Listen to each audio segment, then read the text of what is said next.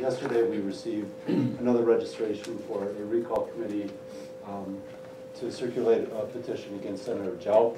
Um, there was also a committee that registered as a political action committee um, to explore a recall against uh, Senator Schultz. We are almost completed with the duplicate review of the governor's petition. We only have about 1,400 names left out of 230,000.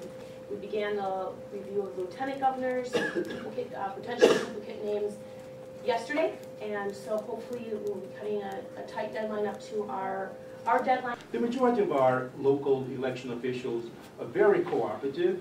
They want to do the right thing, and they do the right thing. But we have that small number uh, that is consistently um, non-compliant with the requests, non-compliant with statutory requirements in terms of reporting.